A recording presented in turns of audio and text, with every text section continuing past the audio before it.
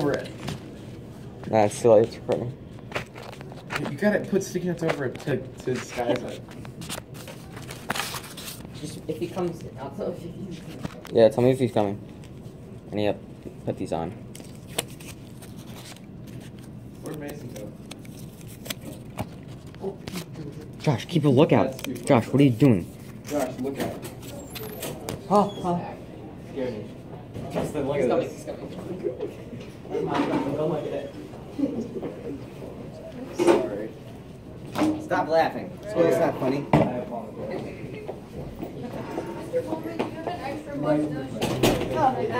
Come on. I don't think so. Okay. I'll just open it on your Chromebook and edit it that way. No, you can still make it happy.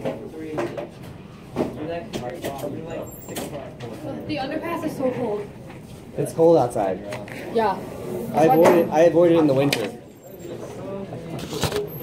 Also, sometimes in the summer because it's too hot. Julio, stop falling down. I didn't see you back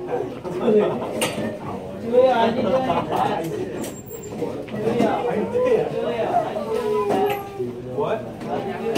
14 out of 15. I gotta give you a calculator. you, you're like, okay, take this. Uh, gotta go.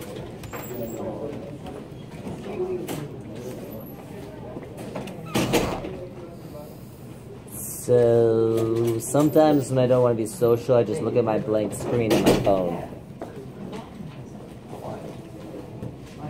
I have a real screen. This is my kids. I'm just making the making the clock go up and down. Oh, I was borrowing my calculator. Then I know I had it. And I left. Hey, Lindsay. Good morning. Good morning. Thank you. Aiden Flynn to guidance. He needs guidance. Mason went to guidance. He needs Hello, guidance. everybody. Hello. I don't know. Should we sit again? Not. It's your fault. Take responsibility. I need to. Well, it's been a good day. Oh. Crappy. I want to home. The picture you posted in the first hour, I can't see anything. I know. I'm gonna try and retake it this hour because the uh, lighting is bad. I zoomed in like 13 times. I know. You try from your phone or your Chromebook? All right, so I'm gonna try to take it. Or we're trying to retake it this hour because I I saw that too and I was like, yeah. All right, so today we're looking at what the expectations are for the test. Uh, I'm gonna take attendance real fast. We have our valuable TA Caracas. She apparently is eating soup. It's so oh, cold. Oh my gosh. A black is that a Chromebook charger? No, No. This is for my phone. he doesn't care. You can't charge Chromebooks in the You school. don't care. It doesn't even work. The electricity doesn't come out. No, Wait, really? We didn't press the button yet. Wait, electricity doesn't come out. I don't want. I, I almost did, and I was like, no. I'm gonna have to reset it if I do that. It might be worth it to watch him not be able to charge his Chromebook, Wait, is that, you, is that but like legit? That actually not work? it turns all the power in the room off. I can't tell what he's doing. I know, right? It's so, it's so confusing. They always say as a teacher you should never use sarcasm because kids don't understand it. And it's like, wow, I'm really bad at this then because I use a lot of sarcasm.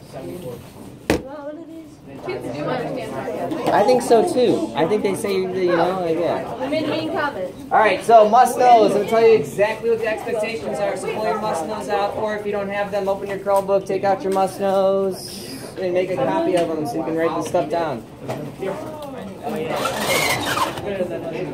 Last night, Amy made zero black pearl. Why does that have to be black?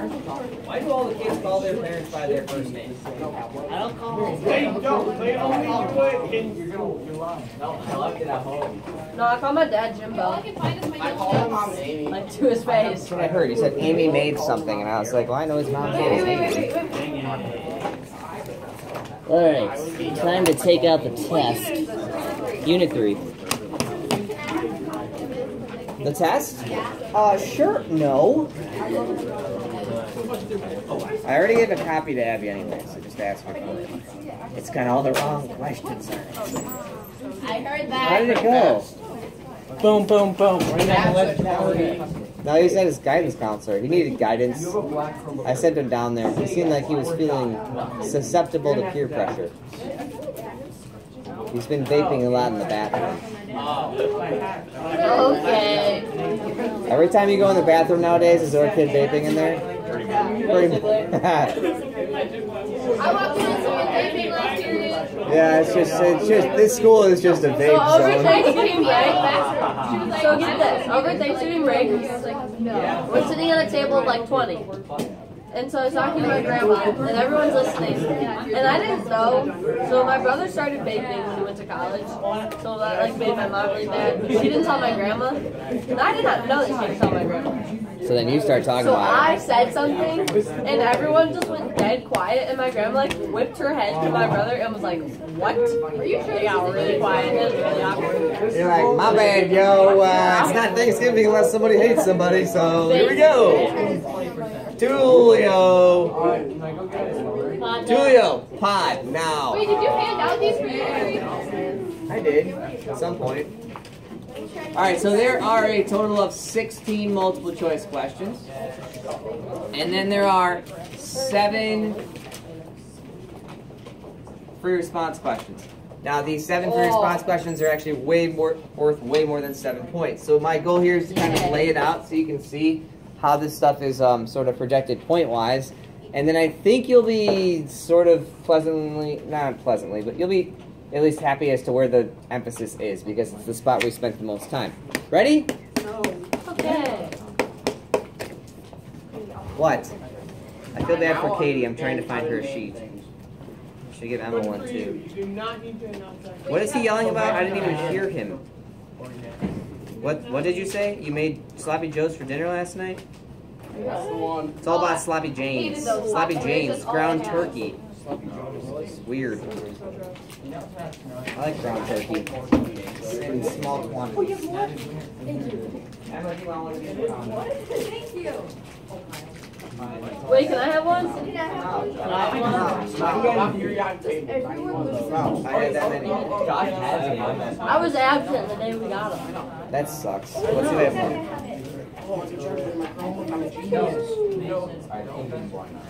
Found some. Found some. Why does this class never have their mustache? It. For the record, I have my mustache. Stop running on the table. All right. Here we go. First question. That was the test. That wasn't the must knows. You started going for it. It was like money was on the ground. All right. So first question is going to be about the general properties. So dissolving water, high melting points. That lab we did at the very beginning of the unit. Ceramic, covalence, metallic. You gonna take one of those? Yes. Yeah, I knew it.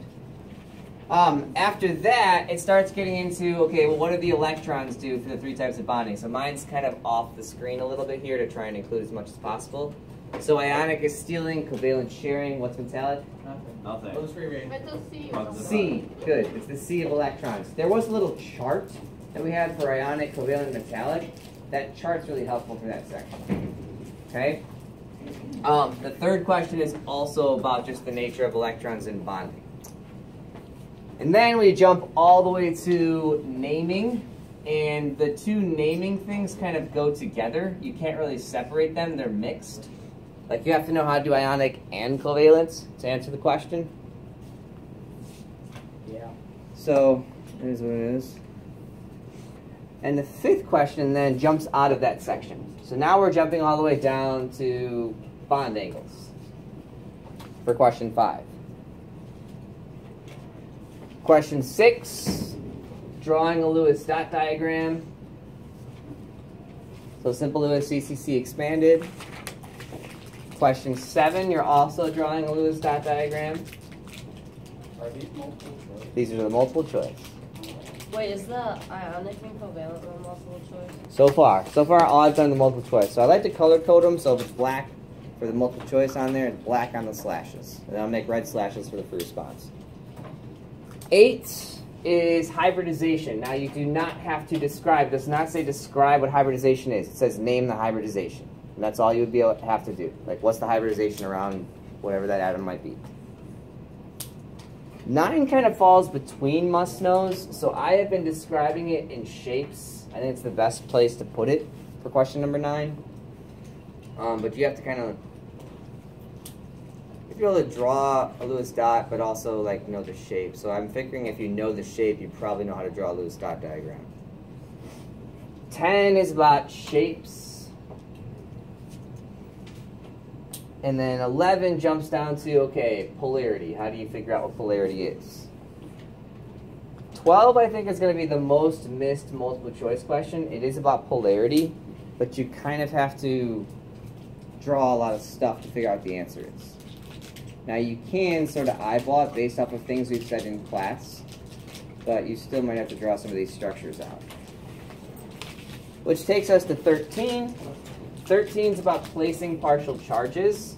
Now, in first hour and second hour, I gave this information out, so I'm going to give it to you guys because someone asked this question. Like, how would that be a multiple choice question? Well, I could ask you, like, in the molecule of water, where is the partial negative? Oh. What? No. Katie's right. Like it's on the oxygen, right? Because you're pulling the electrons toward the oxygen. So the partial negative is on the oxygen, thereby the partial positives are on the hydrogen. So do you really have to place the charge on there, per se? No, it's a multiple choice question, but you have to understand where someone would place the charge to answer the question. Okay? So that's just to clarify that since we did not spend a lot of practice doing that. And that is the only question about that must know on the entire test. Mariana. You'll be given a, a like a periodic table and a polyatomic ion sheet on your test. Okay, And it's just, yeah, not your own, because it's too easy to write stuff down on it and cheat, because like shape names, hybridization, uh, you could write all that on there. Takes us to question 14. 14 is also about polarity, but it's pretty straightforward. And then 15, you are naming an organic compound. And then 16, you're also doing the same thing. And there's your multiple choice. Pretty evenly laid out. Now, the free response becomes more obvious as to where I thought the emphasis was. Now, in every free response question except for one, you have some choice into how you describe it. Let me explain. So the first free response question is going to be about naming, and it's worth three points. Now, the way it works is you're given five different structures.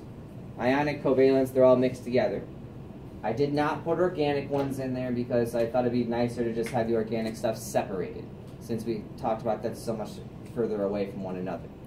So, in that five choices, you pick three to name. So can you avoid certain things? Yes. Yes. Okay. So you have five options. You pick three that you want to name. What if I name all five? Well, then I'm going to grade all of them, and the ones that are wrong, I'm going to count as wrong because you can't read instructions. What if they're all right? Then you win. You get extra. No. Oh. Okay. So I would really, really encourage you not to name all five because you're going to run out of time. Like I like the test is kind of long, and so to give you more time, I made it selection based. So like here's five, name three. Here's four, draw two. Like you'll see in every question, like I'm cutting it in half. Otherwise, you would run out of time on the test because we have five less minutes in class tomorrow because of the assembly. Mm-hmm. If it does get pushed to Monday because the assembly goes long for some reason, like you guys are still getting five minutes left because so that's what first hour and second hour got. So I will steal your test five minutes left in class, just to make it fair. Mariana? Um, so like are all three response questions just like drawing or do you have to explain something? There is zero explanation on anything. Like there's nothing to explain really. It's a bunch of drawing stuff. All right, so that is the first free response question. The next free response question would be writing formulas. And again, it's three points. Guess how many options you have to pick from? Four. Oh, five. Yeah, but so there's five things that have names, ionic or covalence, and then you pick three of them and write the, their formulas. Too low. Low. Do you have to write it? No, you do not. It just says write the like formula or write the formula for it, and it's all or nothing on it. Okay. Takes us to question 19. On question 19, it is going to cover this entire set of must knows. And so the reason why is because you're going to draw a Lewis dot diagram, state the hybridization, state the shape, and state the bond angles. So you need to be able to do all of that. So on the first section of it, there are two of them. They're each worth five points. Like the first two are going to be non-expanded. So it'll be simple Lewis and CCC. It'll say, here's four of them, pick two, draw it out in 3D, label the hybridization, label the bond angles, and what did I say? Label the shape name. Okay, so that'd be the non-expanded ones. The next page of it is the same thing, only now it's the expanded octet ones. So I've separated them because otherwise if I put them all on one page, you could just avoid the expanded octets. And I want to make sure you know both. Okay? Wait, so there's four questions on that? So on one page there's two questions, but there's four options. So there'll be four molecules and say, okay, for two of them, draw it, write the name of the shape, write the hybridization, write the bond angle. Then do it again for another one that you didn't do. Then there's two you didn't draw. On the next page, same thing, but now the four options changed, and they're all expanded octet ones. So they're SP3D or SP3D2s. So it's the weirder shapes. Now, if you cannot draw it, it is possible to earn partial credit as long as you know like the angles for a particular shape. So like let's say you come across one and you're like, dude, I have no idea how to draw this, I suck at drawing. You're losing two points from there, but then you call it a, I don't know, a trigonal bipyramid and you label the angles correctly and the hybridization correctly, based off a trigonal bipyramid, I'm giving you three out of the five points because you knew that stuff was right. You just couldn't draw it. So you, it's not an all or nothing type situation. Katie? Do we have to just say the angles or like label where? You just are? have to say them. I, I, yeah, it just says state, shape, hybridization. About you don't have to label them. Yeah. Um, Wait, is it single page? No. No. No. Never mind. That would be awesome. All right. After you do that, you have drawing a structure. Two points for the organic. So I give you um, four organic molecule names, and you got to draw two of those zigzag structures. So if you know for a fact you suck at those carboxylic acid ones, then don't pick that one. Do like an alcohol or do an al- like the one that ends in ane. Okay? And then you go to a question that does the opposite way, so you name it based off the shorthand structure. Again, you have four options. You only have to do two. And it's an all or nothing situation. Like you either get it or you don't. Okay? The very last question is what I call the perfect paper break breaker. And it's really not that hard, but it's like those questions like where I showed you the practice problem with CL20. And I was like, hey, CL20, uh, da da da da da, it's an explosive. And then at the end, it's like, how would you bond on an NO2? And if you really look at it, it's not that hard of a question. That's what this question is like. It's just a weird question. And it's most closely related to the must know in terms of shapes, and it's only worth two points. So now when we break down the total value of the free response, it is not seven points. You got 3, 6, 8, 10, 12, plus 20. It's 32 points from the free response. So it's double the multiple choice. Two thirds of your test comes from that. Which means your entire test is 48 points, or about 2% per question. Okay? So now if I'm looking at this, I'm saying, okay, well, how does it break down point-wise by category? So up here, 3, 4, you have 10 points in that first section. Six of which comes from naming and formula writing. The bottom section of organic, you only have six points. So where does the vast majority of this test come from? Right. Where do we spend the vast majority of our time? Here. 32 of the 48 points come from that section. Which is what you want. Like you want the emphasis on that section. right? Yeah. Because that's the stuff we've been doing. So I don't know about you, but what I would do when I get this test, if I know I'm going to be crunched for time and I know the vast majority of the points come from the free response, I actually am probably going to go to the free response first. Fill out all my free response stuff and then go back to the multiple choice. Because you're guaranteed to see some multiple choice question you're just like, what the, what, what is this? But it's one point, right? It's not as big of a deal. Whereas the free response, like, that's 32 of the 48 points.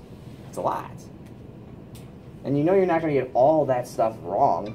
You might get a little bit here or there, but like you have to do well as well as you can there. Okay? Questions? So, to clarify, um, you do not need to understand the nature of energy with bonding. I didn't really cover that too much in the very beginning. We'll talk more about that later. And then, as far as the functional groups, you do not need to label them, and you do not need to know them by name. So, like, if I asked you, like, for an alcohol, you should you don't have to know that that's a hydroxyl group that's attached. You literally there's an OH on there. It changes the name to something anol. So the practice we did those last two days, that's all you have to be able to do in that section. Okay? I took away the really nasty questions. Like I left the very straightforward questions on there. Like it's not, the questions themselves are not hard. So why is this average going to be 10% lower? People don't study. People don't study, and is the material itself easy? No. No, like you can't like fudge your way through it. Like you have to know it or not.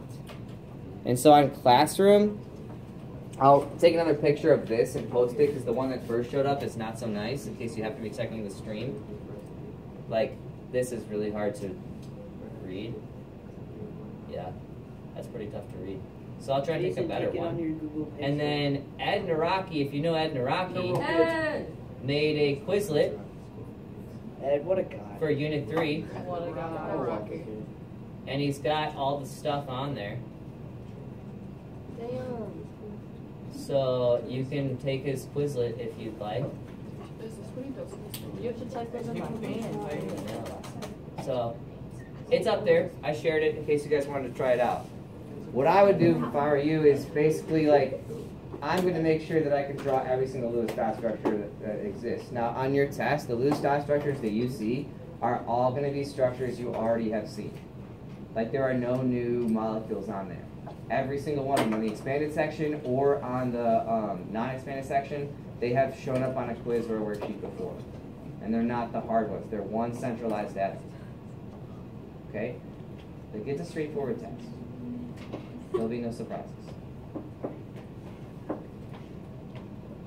Okay, it's your time to study and get ready. I'm here if you got questions. I'm gonna try and get a better picture of this. Yeah.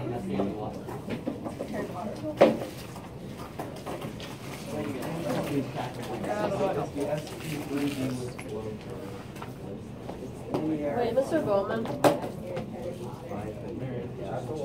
Yeah. What's the one you said that was gonna throw people? There is one question on.